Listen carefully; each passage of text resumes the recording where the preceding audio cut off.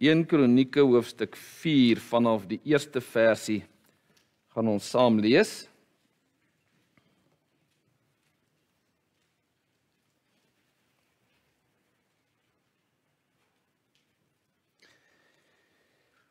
Nou net terwille van u wat nou nie die vorige boodskap geluister het nie as jy nou 1 Kronieke gaan lees dan lees jy dit met die gedagte en die agtergrond daarvan dat 1 Kronieke is geskrywe na die ballingskap.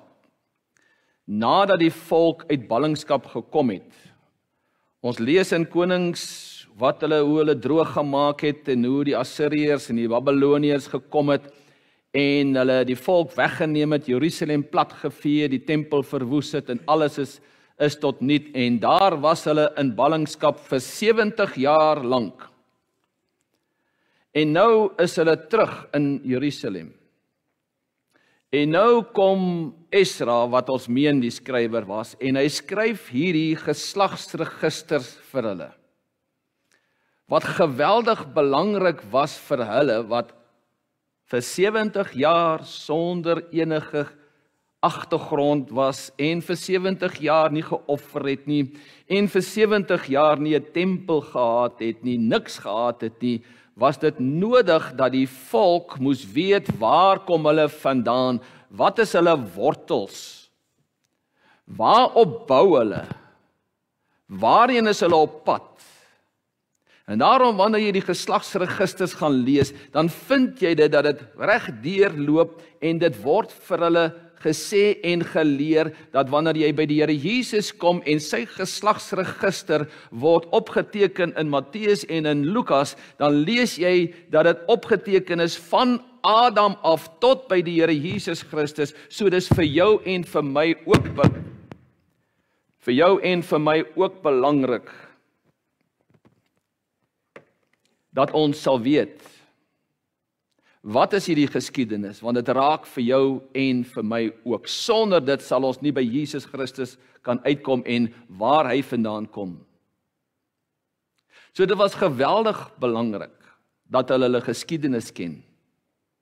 En ek het laasweek gesê hoe verskriklik is dit dat ons kinders nie meer ons wat hier sit se geskiedenis ken. Waar kom ons vandaan nie? Want dit is nie meer in die geskiedenisboeke nie. Hulle moet dit op ander plekke gaan vind en dis hoekom hulle geen identiteit het nie. Dit geen vastigheid nie.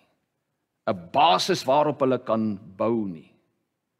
So eintlik moet u hulle jammer kry en begin om die geskiedenis vir hulle te leer en te sê wie is ons? Wie is jy? En 'n deurtrek tot by Christus. Kom ons maak ons oë toe en ons harte stil voor die Here. Here, ons lewe in dae waar ons U nie dat ons U ander dae nie nodig gehad het nie.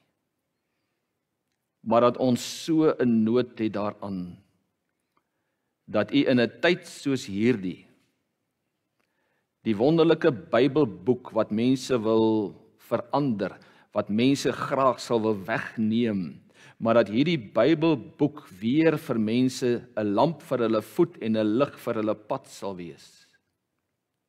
Dat mense weer sal begin om nou geset te handel volgens alles wat hierin opgeteken staan sodat hulle rus, vrede, genade kan vind in 'n rustelose, goddelose wêreld waarin ons lewe. O, ons het U so nodig. Ons het nodig dat U deur U Heilige Gees mense se harte se oë en ore sal oopmaak om te luister. U ken ons nood. Name is afgelees. Sommige het ons verlaat vir wie ons baie gebid het deur die siekte. En dan is daar op hierdie oomblik mense oor wie ons geweldig bekommerd is. Maar dankie dat U ons nie 'n gees van vreesagtigheid gegee het nie, maar om te kan roep Abba Vader. En daarom kom roep ons vir elkeen in nood. U sê vir ons en u leer ons, roep my aan in die dag van jou benoudheid en ek sal jou antwoord. Groot en ondeurgrondelike dinge wat vir jou nie bekend is nie, sal ek vir jou bekend maak, sê u. U word genoem o hoorder van gebed. En ons weet dit en ons ken dit, Here. Ons weet dat U self, Here Jesus, hoe U nagte deur gebid het voor U U disippels geroep het, hoe U self geroep het tot U Vader in die tuin van Getsemane. Vader, laat hierdie beker by my verby verbygaan, nogtans nie my wil nie, maar laat U wil geskied, het U gebid. En daarom het ons nodig om in tye van nood, net so in 'n noodsituasie en in in tye waar ons U so nodig het te volhard in die gebed om saam te bid, alleen te bid, saam met mense en groepe te bid, elke geleentheid wat ons kry sodat U uit die hemel sal hoor en die lot van mense sal kan verander. Kom besoek ons dan vanmôre. Deur hierdie woord wat U in my hart lewendig gemaak het wat ek glo wat van U afkom en dat dit vir mense tot bemoediging of vermaaning, teregwysing, waarvoor u dit ook al wil uitstuur, dat u dit sal doen in Jesus se naam. Amen. Die seuns van Juda was Peres, Hesron en Karmi en Hur en Sobal. En Reaya, die seun van Sobal, was die vader van Jahat en Jahat van Ahumai en van Lahat en dit is die geslagte van die Soriatite. En dit is die seuns van Etam, Jesreel en Jisma en Jibdas en die naam van hulle suster was Hassel El Poni. As jy sukkel en soek vir 'n dogtertjie aan naam, noem maar Hassel El Poni. En Pneel was die vader van Gedor en Eser die vader van Hisa. Dit is die seuns van Hur, die eersgeborene van Efrata, die vader van Bethlehem. En Asger, die seun van Tekoa, het twee vroue gehad, Helia en Naara. En Naara het vir hom Ahisam en Hefer en die Temenite en die Ahastarite gebaar. Dit was die seuns van Naara. En die seuns van Helia was Seret, Jesuar en Etnom. En Kos was die vader van Anub en Hasubeba en van die geslagte van Aharhel, die seun van Hiram. En Jabes was meer geëerd as sy broers. En sy moeder het hom Jabes genoem en gesê: Ek het met smart gebaar En Jabes het die God van Israel aangeroep en gesê: As U my ryklik seën en my grondgebied vermeerder en U hand met my sal wees en U die onheil afweer sodat my geen smart tref nie en God het laat kom wat hy begeer het Terwille van die tyd lees ons net tot daar want daarna is dit net weer name op name op name. In 1 Kronieke 4 vers 9 staan daar en Jabes was meer geëerd as sy broers. 'n Ander vertaling wat net so 'n bietjie uitbrei daaroor in 'n kommentaar sê hy was beskryf hy was baie belangrik, hy het baie belangriker geword as sy broers. En sy moeder het hom Jabes, seun van pyn beteken dit, genoem en gesê ek het met smart gebaar. Nou noem sy hom Jabes. En hierdie jong seun loop die heeltyd met die gedagte van ek is 'n seun van pyn.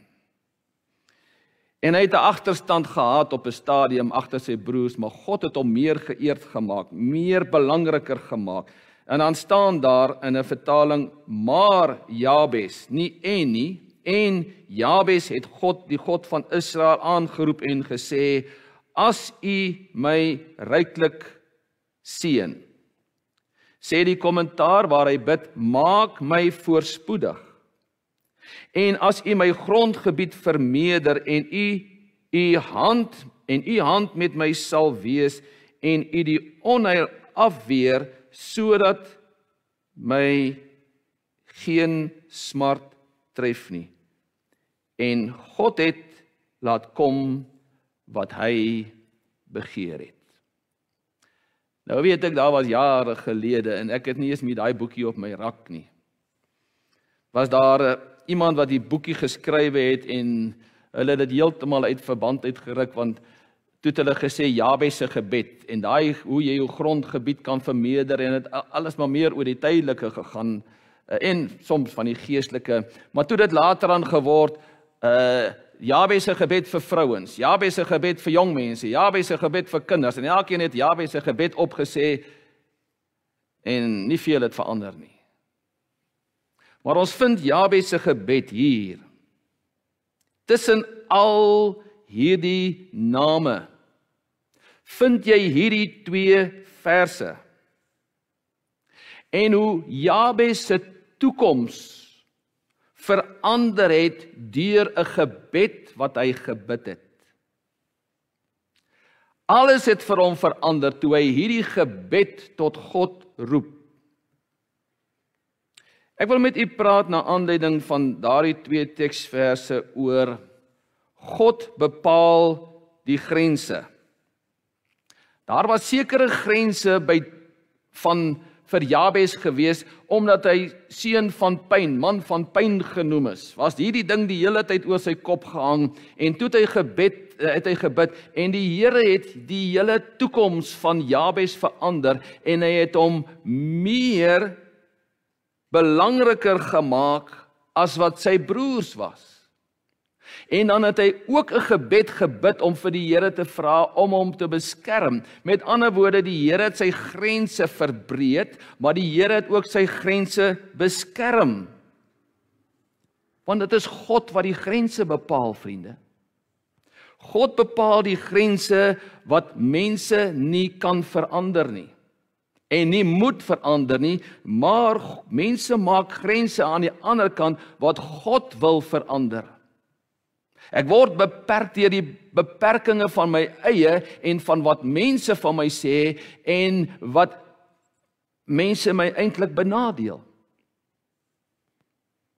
Ek dink aan as jy dink aan Louis Pasteur en jy dink aan die tyd toe hy gekom het en met die met die virusse en die kieme wat hy daar gehad het, het almal hom afgelag en gesê ag man, dis 'n klomp nonsens hierdie. As hy daar sou opgehou het sou ons nooit gekom het by die punt vandag as jy nou na die Louis Pasteur gaan kyk en al dis wat hy uitgevind het en al die belangrike goedes wat hy vir die mediese geleer het rondom virusse en kieme. Mense het hom nie gekeer nie. Hy het voortgegaan daarmee. Maar nou kom die Here. En die Here bepaal grense. En ek wil nie vanmôre daaroor praat nie, maar ek wil vir u sê as God sê dit is nie goed dat die mens alleen is nie, ek sal vir hom 'n hulp maak wat by hom pas. En hy gee vir die man 'n vrou en nie 'n man nie, dan het God die grense bepaal. Nie ons nie. Wanneer die Here God kom en hy sê dat jou liggaam is 'n tempel van die Heilige Gees, is daar sekere grense van goed wat jy nie mag doen nie en nie kan doen nie en daarom sê die Here jy mag nie jou liggaam beskadig deur tatoeëermerke en allerlei snaakse goedes wat jy aanvang nie want die grens is daardeur God gestel. Wanneer die Here God kom en hy sê uit elke volk en stam en taal en nasie word 'n mens gered en dat hy bepaalde grense daar gestel het vir die mense om te sê daardie groep en daardie groep as jy gaan kyk in die boek weet jy wat maak hierdie ding nie. Hy lê doodstil hier. As as jy gaan kyk hoe die Here in kronieke die grense daar stel vir elke stam, afstammelinge. As jy gaan kyk toe hulle deur die Jordaan getrek het en die Here vir die 12 stamme elkeen hulle spesifieke plek gegee het, het hy selfs in onder die mense, onder die volk Israel grense daar gestel en gesê, dit is julle mense. En wat word ons vandag geleer? Almal is dieselfde. Almal moet een kleur wees, almal moet een geur wees, almal moet in een kerk wees terwyl God grense daar gestel het, vriende. Selfs in die natuur het God grense gestel. As jy daar gaan kyk, ek ek kyk daar as die as die voeltjies daar kom kos eet by my, daar loop die mossies saam met mekaar en hier is die baba daai rooi kop vink of wat ook al hy is, houtkapper uh wanneer hy kom eet daarso dan jaag hy die muisvoëls weg. En sê ek prys the lord ek hou nie van 'n muisvoël nie. Die muisvoëls is by hulle by 'n groep bymekaar en hulle is bymekaar. God het bepaalde grense selfs in die natuur gestel. En ons moenie daaraan karring nie. En ek vind dit in die boek kronieke. Al die geslagsregisters wat geskryf is van die ballingskap af tot hier En ons lees dat die Here kom en hy stel sekere grense. En nou vind ons tussen al hierdie name vind ons Jabes se gebed. Twee verse tussen al hierdie name. Dan moet dit vir ons iets beteken. U sien God is soewerein. God is 'n God van orde. God het bepaalde grense. En ou dokter Willie Kotse het vir ons altyd geleer op kweekskool wanneer ons kinder ehm uh, kinderbedieninge gedoen het en geleer het oor hoe om kinders te te evangeliseer en kinders op te voed dat 'n kind voel veilig binne grense. As daar nie grense in 'n huis is en 'n pa en 'n ma sê julle doen nie dit nie, julle doen nie dit nie. Ek praat nie van 'n kind wat in 'n hok gesit is en hy mag nie uitkom en hy mag nie gaan kuier nie, hy mag nie speel nie. Ek praat van bepaalde grense wat 'n pa en 'n ma in 'n huis gesin daar gee al hou die kind nie daarvan nie. Hy voel veilig binne hierdie grense. Selfs met diere. Diere word afgekamp sodat hulle veilig kan wees in die grens wat God daar vir hulle gestel het.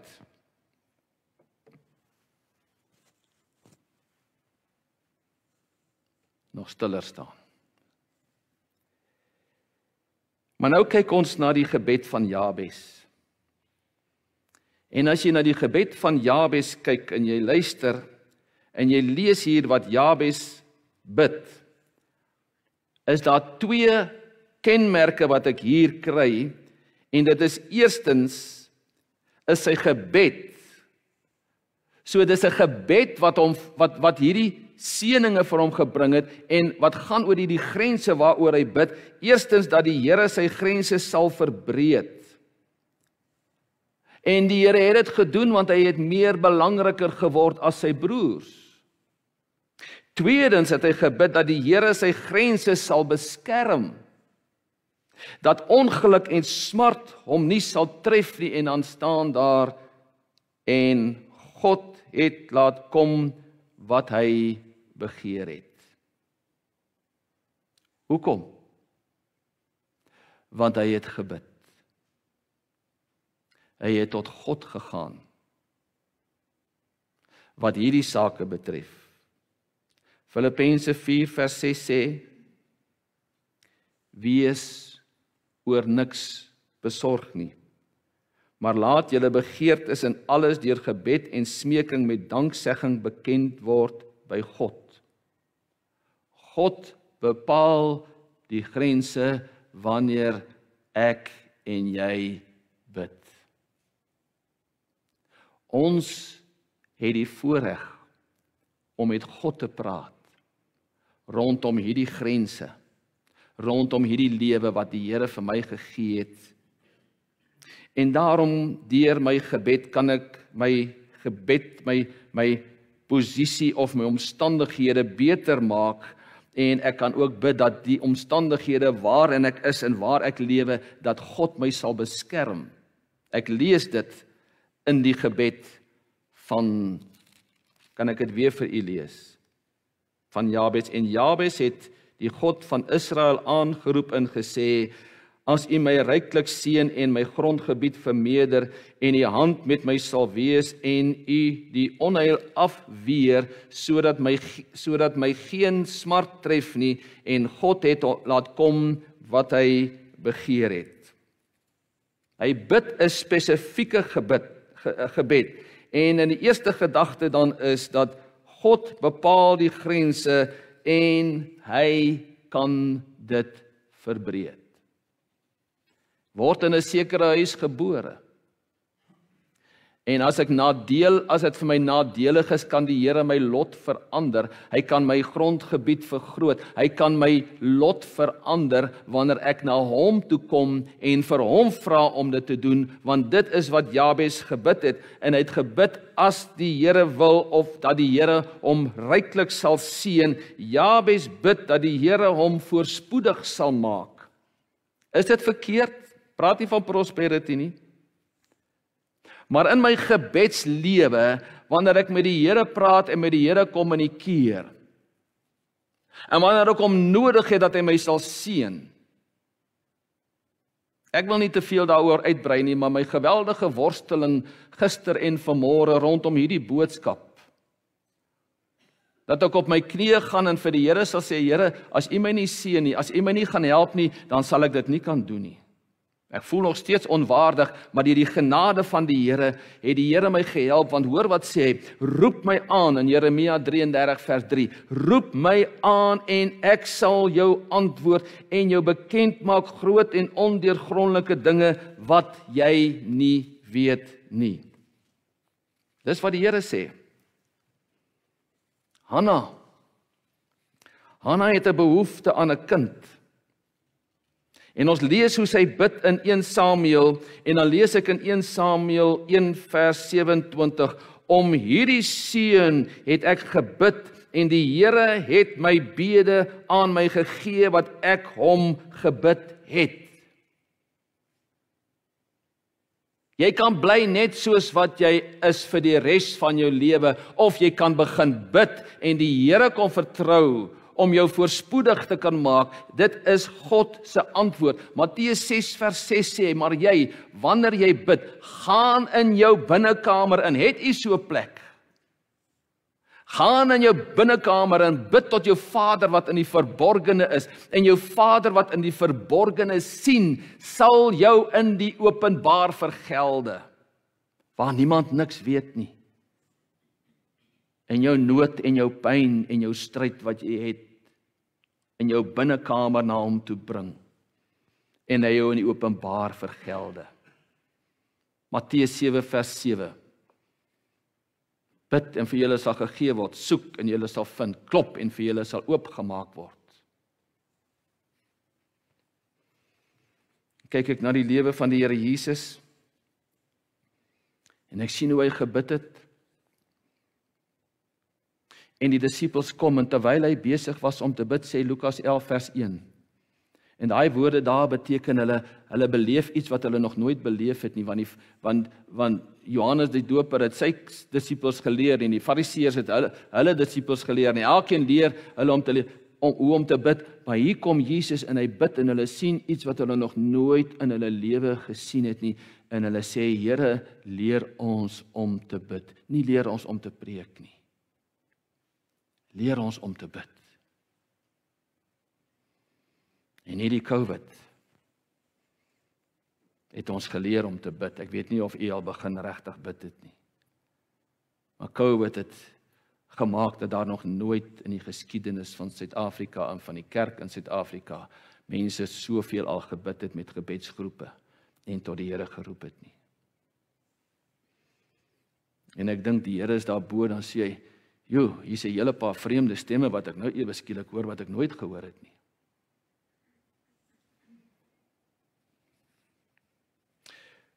Maar die Here kom en hy hoor die gebed van Dawid en hy vra dat hy dit sal verbreek. dat hy sal vir hom meer seën gee.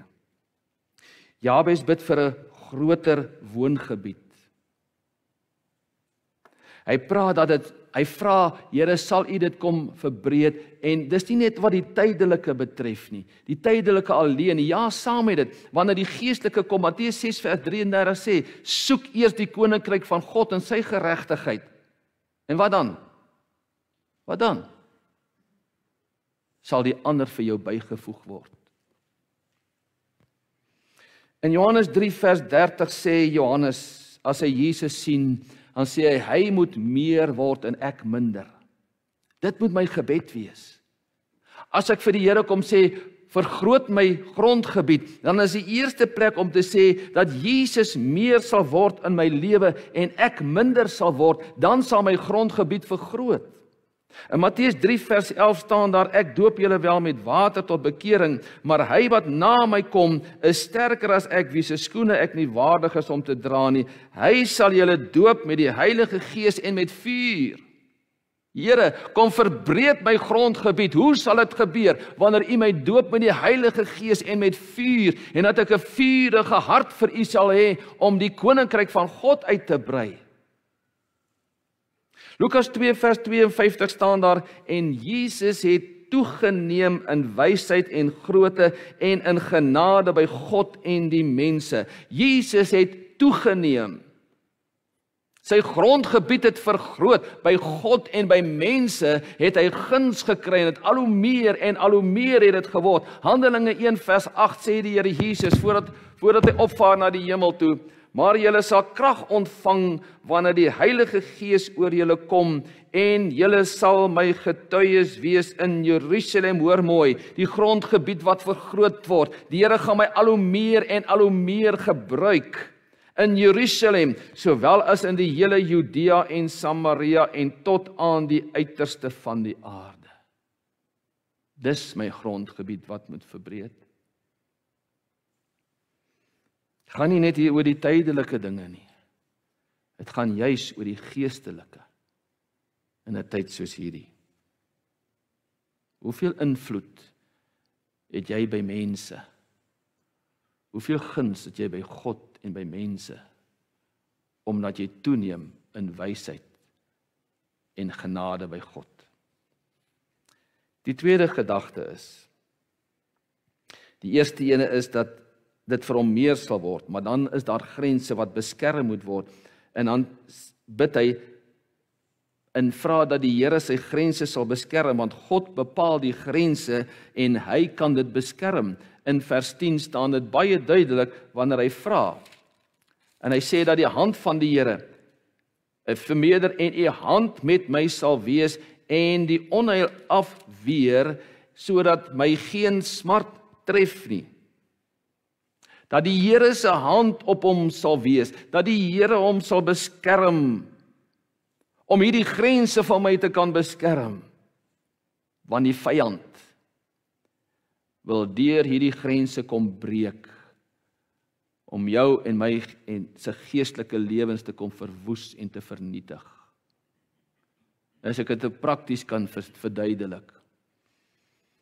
Ons het so veilig gevoel in die estate waarin ons bly. Totdat ons gehoor het hulle het oor die draad gekom en twee huise geplunder en die ouens se televisie en allerlei goed dit hulle gevat want nooit het niemand gedink dit kan gebeur nie. Die vyand het gekom en hy het oor die grens, hy het deur die grens gebreek, hy het binne in ons grense ingekom en dit wat vir ons veilig gevoel het, voel nie meer veilig nie. En nou trek ons jaws toe en ons is so bly ons gaan jaws toe want daar is nie soveel onheil nie. Lees my vrou nou vir my gister in die in die George Herald van in in Blue Mountain waar Dominee Henny Prins so hulle bly en waar ons ook sou wou gaan bly het, het daar 10 manne gekom en hulle het 'n huis ingekom en die hele huis se televisie en alles wat hulle gevat het, hoe het hulle daar ingekom? Hulle deur die grense gebreek. Die vyand ook in ons geestelike lewens vriende het ons die hand van die Here nodig om ons te beskerm dat hy nie deur hierdie grense breek nie want Jesaja 59 vers 1 gee vir my daai belofte Kyk, die hand van die Here is nie te kort om te help nie en sy oor is nie te swaar om te hoor nie. Die hand van die Here wat my beskerm. Psalm 37 vers 24 as hy val, dan stort hy nie neer nie, want die Here ondersteun sy hand. Ek is in die hand van die Here. Vers 25 in Psalm 27 sê ek was jonk ook het ek oud geword maar nooit het ek die regverdige verlate gesien of dat sy nageslag brood soek nie hoekom want die hand van die Here beskerm my Johannes 20 vers 28 en ek gee hulle die ewige lewe en hulle sal nooit verlore gaan tot in ewigheid nie en niemand sal hulle uit my hand ruk nie Deur gebed beskerm die Here my met sy kragtige hand en hou hy my vas dat die vyand nie oor die grense kom. Maar hy bid ook dat hy die onheil sal afweer. Dat die onheil nie oor die grense sal kom nie. Jabes bid dat die ongeluk hom nie sal tref nie. Want daar is sekere grense en en en so maklik wil die vyand oor die grense kom terwyl Jesaja 43 vers 1 en vers 2 sê so sê die Here jou skepper wees nie bevrees nie want ek het jou verlos. Ek het jou by jou naam geroep. Jy is myne. Hoor nou mooi As jy deur die water gaan, is ek by jou en deur die riviere, hulle sal jou nie oorstroom nie. En as jy deur die vuur gaan, sal jy jou nie skroei nie en die vlam sal jou nie brand nie. Vriende, ek wil my verstout om te sê dis 'n man wat hierdie woorde kan praat, is 'n man van gebed wat die Here vra, Here, help my deur die Ek meen, ons gaan deur diep waters. Is daar van julle wat nie deur diep waters moet gaan nie? Dit voel asof die die vuur ons wil verwoes en vernietig. Ken u dit? Maar die Here sê: As jy deur dit gaan, is ek by jou. Hy beskerm ons nie en bewaar ons nie van dit nie, maar in daardie tyd is hy met ons. Hoor hoe pragtig beskryf hy dit dat die die dat ons onder sy vlerke, die grense is van onder sy vlerke, soos daardie ou klein kuikentjies onder die vlerke van 'n uh, 'n moeder. Iemand het vir my nou onlangs 'n uh, klip gestuur van 'n arend en hoe daardie arend die kyk klein ou kuikentjies en loop hulle daar rond en toe hy so afkom, toe's daai ma op daai arend. Die arend het twee keer probeer, maar sy het hom geskop. Stikkend geskop om haar kinders te beskerm hier onder haar vleuels. Dis wat God wil doen wanneer ek en jy in gebed tot hom gaan. Hoor wat sê hy in Psalm 57 vers 1. 'n Gedig toe Dawid vir Saul in die spilonk gevlug het. Wees my genadig o God, wees my genadig want by U het my siel geskuil en in die skade wee van U vleuels sal ek skuil totdat die onheil verbygegaan het. En dit is so jammer. Is dieselfde net soos wat die Here vir die volk Jerusalem gesê het. Jerusalem, Jerusalem, hoe graag wou ek julle bymekaar maak soos 'n hen haar kuikens. Maar julle wou nie. Hoe graag sê die Here wil ek julle bymekaar maak en beskerm soos 'n hen haar kuikens, maar jy wil nie bid nie. Dan is daar die grens in die rots. In die klif van die rots. Eksodus 33 vers 22 en as my heerlikheid verbygaan sal ek jou in die skeur van die rots stel en jou met my hand oordek totdat ek verbygegaan het. En ek is veilig in die rots.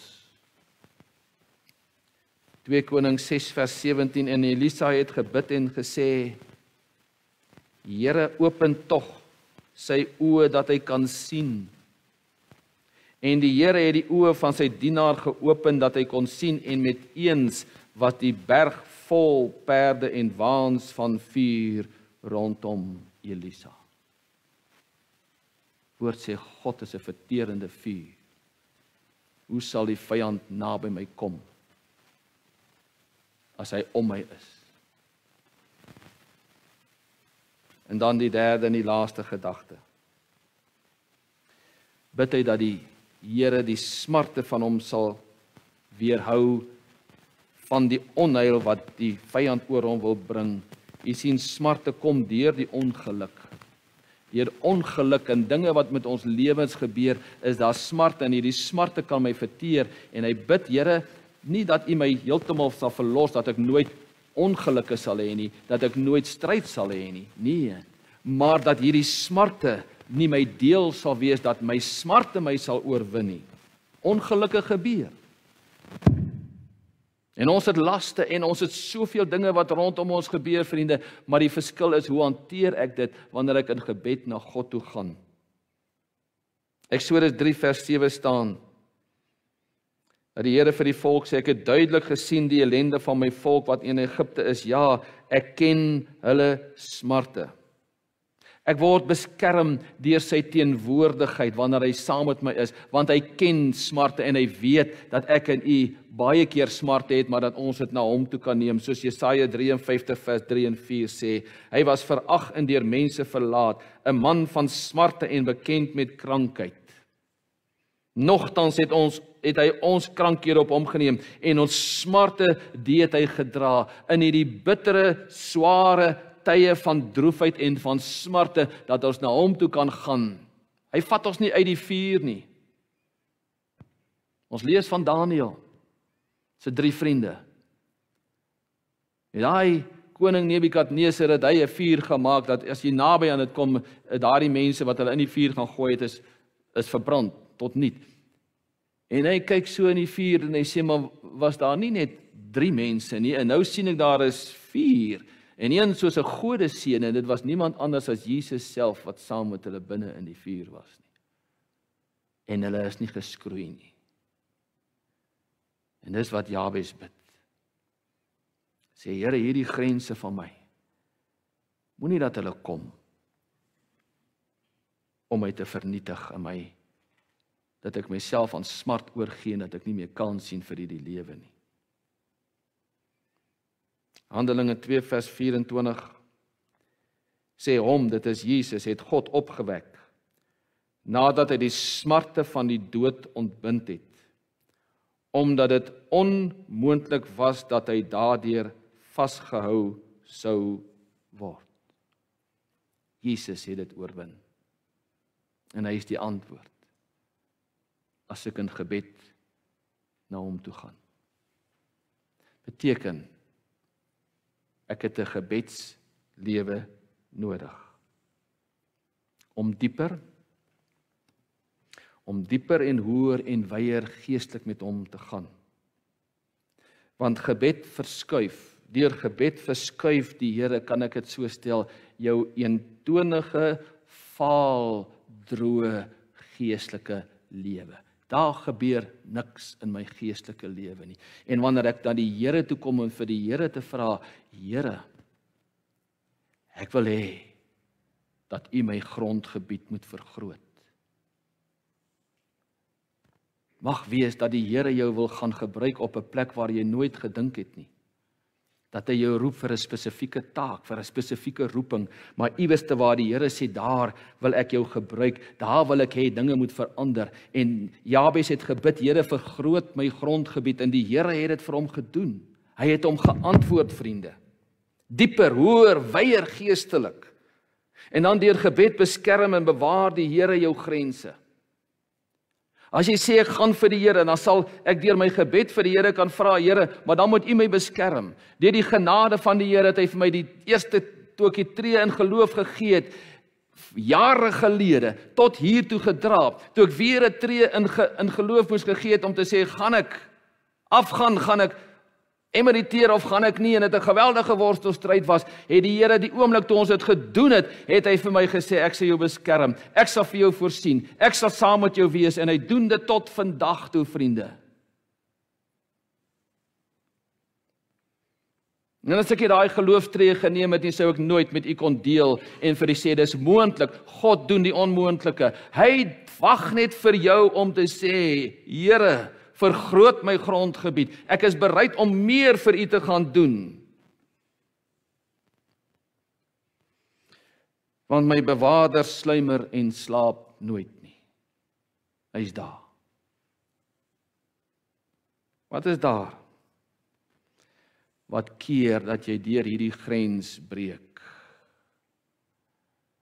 Hierdie grense wat jou so in 'n hokkie hou en ek is so bang en ek is ek ek sien nie kans daarvoor nie. Hoe groot is jou God? Vir hoeveel sal jy hom vertrou? En dit wat hy met jou praat en besig is met jou oor gaan vra vir hom, hy moet dit bevestig. Is dit on is dit ongeloof? Is dit vrees? Of is dit ongehoorsaamheid? En jy weet wat die regte ding is. Maar jy's net blaatant ongehoorsaam. God bepaal die grense en jy moet binne daardie grense bly of jy moet die mensgemaakte grense breek en sê ek breek uit. Nie losbandig nie.